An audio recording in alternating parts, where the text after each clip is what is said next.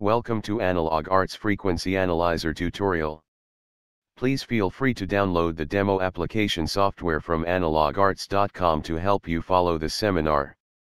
For this presentation, we use SF880, an automated sweep frequency response analyzer. After running the application software, the instrument performs a thorough calibration process that takes about one minute to complete. Next the instrument menu appears on the screen. The menu allows the user to select the instrument of interest. Clicking on the FRA button turns on the frequency response analyzer. The instrument has two modes of operation, gain and impedance. To perform gain and phase measurement, click on the button marked gain.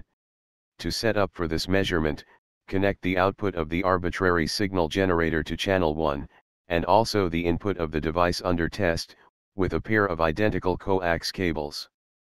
Then, connect the output of the device under test to channel 2. When the setup is ready, enter the desired parameters in their corresponding text boxes in the FRA panel, and choose the sweep type, and also signal coupling, simply by clicking on their buttons. Once all the parameters are entered and the appropriate selections are made, click on the Run button to start the analysis. The frequency panel at the bottom of the screen shows the frequency that is being analyzed. After each one of the individual frequency analysis is finished, the gain and phase plots are updated to show the response of the device under the frequency. Clicking on the zoom in buttons adjust the vertical scaling of the screen to fit the area between the corresponding markers. On the other hand, the gain and phase zoom out buttons increase the corresponding vertical scaling by a factor 2 each time they are clicked. The color-coded up and down arrows at the top left corner of the screen allows the user to reposition the gain graph for better viewing.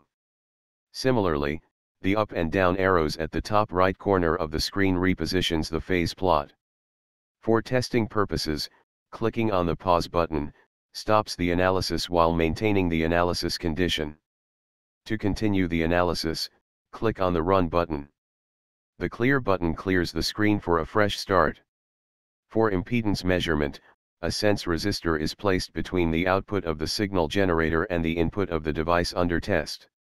For a more accurate impedance measurement the sense resistor should have a value of about 10% to twice the impedance of the device under test.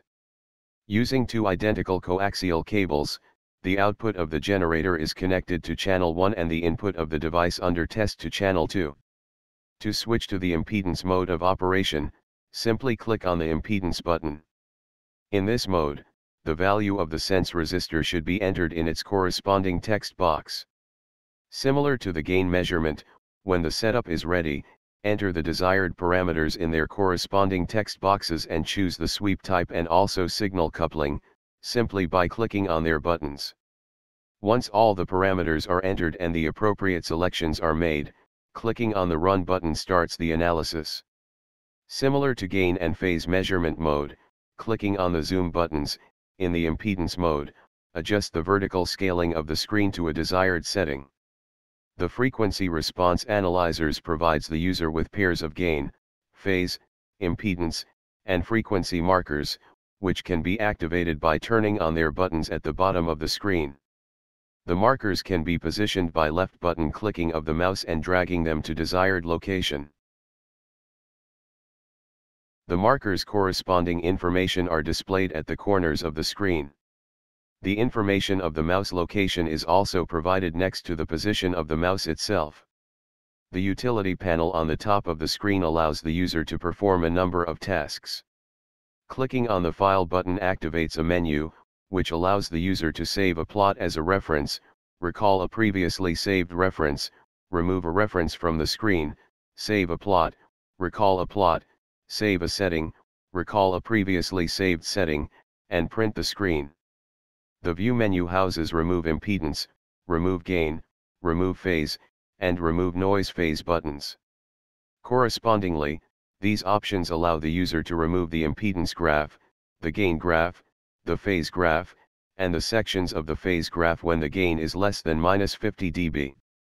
It also provides the user with the ability to change the color of the screen, the color of the graphs, the color of the grids, the order of the plotting, and also to remove the grids. The reset button sets the instrument to its default condition. The calibrate button starts the self-calibration process of the generator. This process usually takes about 10 seconds to complete.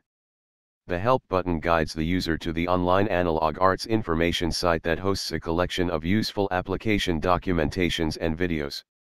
For additional information or to review your application with an engineer, please contact us at info at analogarts.com.